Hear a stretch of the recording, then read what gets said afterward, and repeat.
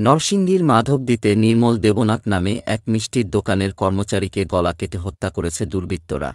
মঙ্গলবার গভীর রাতে এ ঘটনা ঘটে।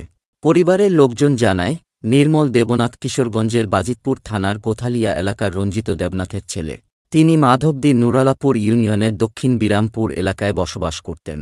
মঙ্গলবার রাতে তার স্ত্রী ও সন্তানরা বেড়াতে যাওয়ায় তিনি বাড়িতে একা ছিলেন।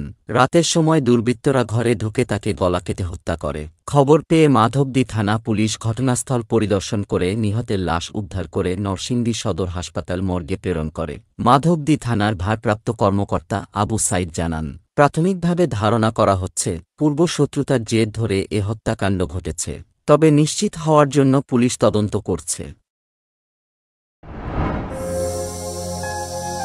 Música